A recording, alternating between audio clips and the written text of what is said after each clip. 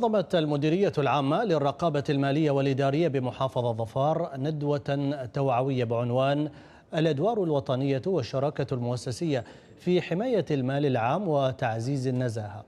واستعرضت الندوة التوعوية الأدوار الوطنية لجهاز الرقابة المالية والإدارية للدولة واختصاصاته وصلاحياته وآلية متابعة أداء الجهات المشمولة بالرقابة وفقا للقوانين المنظمة لعمل الجهاز.